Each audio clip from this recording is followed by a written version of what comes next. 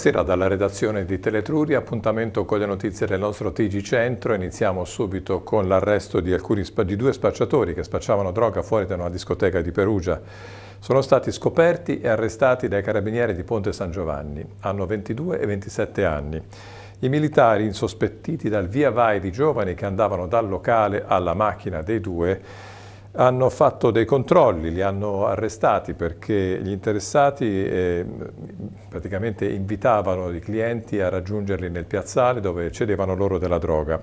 Notevole la quantità di sostanza illegale che è stata sequestrata sia in auto che a casa dei due, sono 106 pasticche di ecstasy, 740 euro in contanti, 12 grammi di cocaina, un bilancino di precisione.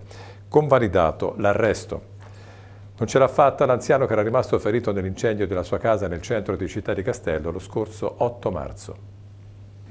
A distanza di un mese è morto l'uomo di 80 anni che era rimasto ustionato e intossicato nell'incendio avvenuto nella sua abitazione fra Piazza Sanzio e via Mariangeloni nel centro storico di Città di Castello.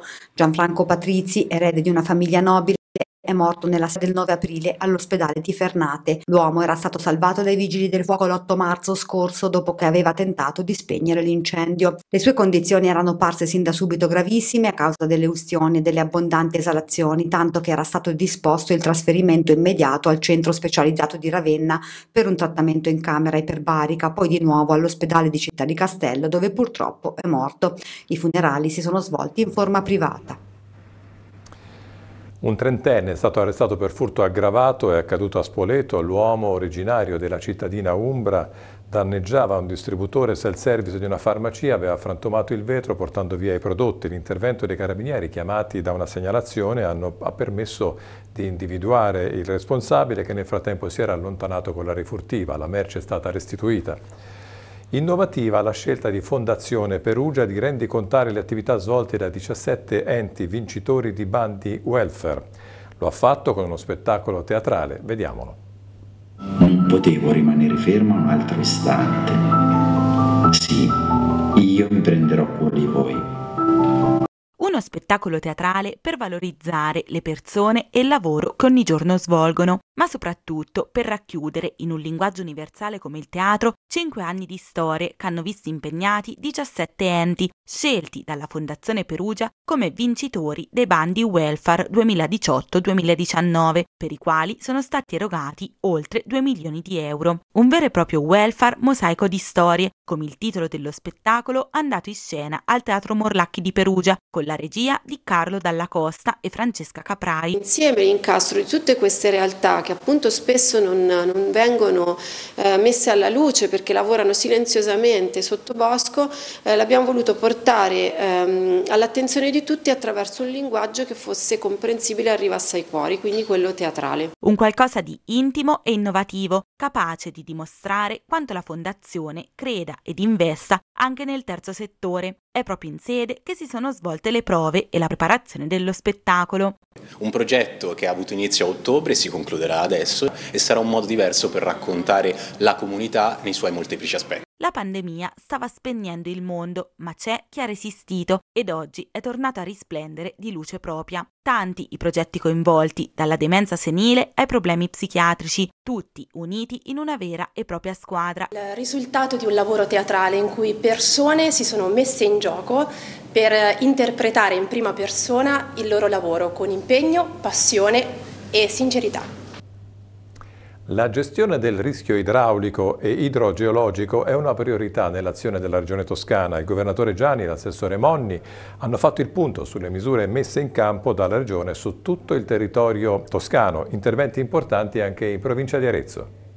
Sul fronte della difesa del suolo la Regione Toscana si sta adoperando con fondi propri e risorse del PNRR. Il territorio regionale è fortemente soggetto al rischio idraulico e idrogeologico, senza dimenticare la grave emergenza della siccità. La Regione ha messo in campo già numerosi interventi e altri prenderanno avvio nel 2023. Noi abbiamo 60 milioni di lavori che sono in questo momento in corso, parlo per quanto riguarda l'Arno, il bacino fluviale più consistente in Toscana, con eh, le due casse d'espansione che a Restone e a Pizziconi eh, ci possono portare a paventare di fronte a un innalzamento del livello del fiume la possibilità di eh, regimentare le acque attraverso queste vasche di laminazione e sono interventi che inaugureremo nell'arco di pochi mesi.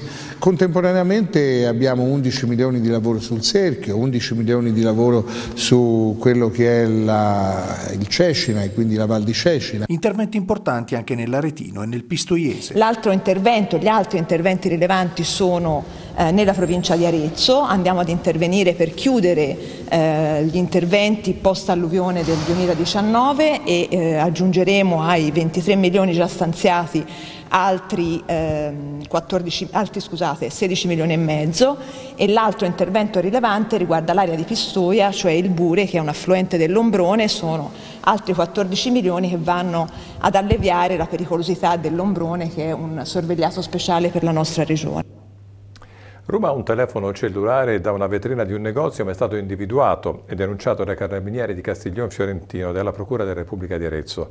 L'accusa è furto aggravato, è stato rintracciato grazie alle immagini della videosorveglianza e poi anche ad una scheda telefonica a lui intestata. L'uomo era già noto alle forze dell'ordine, il telefono cellulare è stato recuperato. Durante l'ultimo Consiglio Comunale di Terranuova Bracciolini è stato dato mandato all'amministrazione di individuare un rappresentante in seno alla Multi-Utility, la neonata società per l'erogazione di servizi come energia, acqua e gas. Continua l'iter anche in Valdarno per definire l'ingresso dei comuni nella multi-utility società creata per l'erogazione dei servizi pubblici, ambiente, energia e ciclo idrico.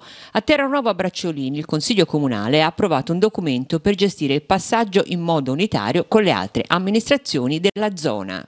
Consiglio ha dato mandato al Sindaco e poi ha delegato me alla sottoscrizione di uh, seconda, un secondo livello di patti parasociali. Si tratta di un atto in, in, cui il nostro comune, assieme a altri 19 comuni della provincia di Firenze che guarda, che guarda al Valdarno, tra questi posso citare il comune di Figli nei Cisa, Reggello, Scandicci, eh, Impruneta per, per definirne alcuni, questi comuni si sono messi insieme per andare appunto ad individuare un proprio rappresentante all'interno del Consiglio di amministrazione della nascente nuova società, quindi la Multiutility Toscana, in maniera da poter avere come dire, un rappresentante territoriale che possa portare avanti le istanze di queste aree, di queste aree geografiche. La Multiutility prevede la fusione di Alea, Servizi, Acqua Toscana e Consiag. Secondo il vice sindaco di Terranuova avrà degli scopi ben precisi. Questa società è stata fatta esclusivamente per ridurre i costi di gestione, quindi invece di quattro soggetti distinti un unico soggetto che possa avere un unico presidente, insomma avere meno poltrone da dividere, dovrà garantire una maggiore efficienza, efficacia e erogare un servizio migliore per gli utenti e i cittadini. Adesso parliamo di turisti, c'è stato un boom di turisti nel Val Tiberina, in particolare a San Sepolcro, li vediamo in questo servizio. Oltre mille visitatori al Museo Civico di San Sepolcro nelle vacanze di Pasqua. È stato un boom di turisti nei giorni dal 7 al 10 aprile nella città di Piero. Sono stati ben 1178 gli accessi al Museo Civico per la prima volta aperto ad orario continuato. Dunque arte e cultura hanno ammaliato i tanti visitatori, soprattutto italiani, che hanno potuto godere per la prima volta di un orario esteso, dalle 10 alle 18, dal venerdì santo al lunedì di Pasquetta, prendendosi tutto il tempo necessario per poter ammirare le sale del museo in cui sono custodite tantissime opere, tra cui quelle del maestro Piero della Francesca. A dare ancora più valore ai numeri degli accessi il fatto che a giungere in città sono state famiglie e piccoli gruppi di amici, non erano infatti state prenotate visite di gruppi. Dopo la visita al museo molte persone hanno approfittato dei gadget e dei ricordi in vendita al bookshop portando con sé un pezzetto di San Sepolcro e delle sue meraviglie. Buoni anche i numeri della casa di Piero, che ha contato oltre 150 visitatori per le visite guidate nell'antica dimora del maestro del Rinascimento. San Sepolcro, la sua storia e la sua arte sono sempre più di richiamo per i turisti che la città attende numerosi, soprattutto in vista della bella stagione. Domani a San Sepolcro si parlerà di sicurezza stradale. L'iniziativa promossa dai Lions è in programma alle 10 nei locali della scuola Collodi, dove gli organizzatori incontreranno i ragazzi dell'istituto. All'evento collabora anche l'ACI di Arezzo. Nel trentennale Parco delle Foreste Casentinesi, Sasso Fratino, eh, c'è un esempio di una foresta che non ha bisogno dell'uomo, mentre l'uomo ha bisogno del bosco. Vediamo questo servizio molto interessante. Luca Saltini, presidente del Parco Nazionale delle Foreste Casentinesi, Montefalterone Campigna, Parco Nazionale, le Foreste Vetuste e naturalmente anche il riconoscimento come patrimonio dell'UNESCO. Siamo con Sasso Fratino. Eh, bisogna lavorare su Sasso Fratino perché naturalmente rimanga una realtà da un punto di vista ambientale. Io credo che il miglior investimento in Sasso Fratino, visto che sono poche centinaia di ettari, la, la, la corarea 750 eh, ettari, eh, contornate da altri 6.900 ettari di foreste vetuste di faggio, credo che almeno la, la corarea vada lasciata eh, alla sua evoluzione naturale. Spesso sento dire che il bosco ha bisogno dell'uomo, altrimenti muore. Sassofratino è la prova provata che è l'uomo che ha bisogno del bosco. In realtà il bosco non ha bisogno dell'uomo e ne ha ancora meno bisogno quando il bosco diventa foresta e quindi sono in grado di sopravvivere e, e, di risolvere tutti i problemi che si pongono a loro quotidianamente per la loro sopravvivenza. Sono in grado davvero di eh, evolvere verso una naturalità che trova un equilibrio e l'uomo se non interferisce in questo equilibrio eh, la foresta è in grado di vivere tranquillamente da sola. Quindi il migliore investimento, almeno in queste porzioni che sono state lasciate libere di evolversi, è quello di non toccarle e di vedere dove possono arrivare. Un incontro per sensibilizzare l'opinione pubblica sul tema della disabilità è in programma sabato prossimo a Foiano su iniziativa dei Lions Club Cortona Valdichiana Ost. L'incontro dal titolo Riflessioni ad alta voce sulla disabilità è in programma presso la Sala Gervasi alle 17. L'evento vedrà la testimonianza di alcune associazioni del territorio che operano nel settore, ma anche di esperti che si confronteranno proprio su queste tematiche. E questa era l'ultima notizia di questo appuntamento informativo con il nostro TG Centro. Grazie dell'attenzione e buona serata su Teletruria.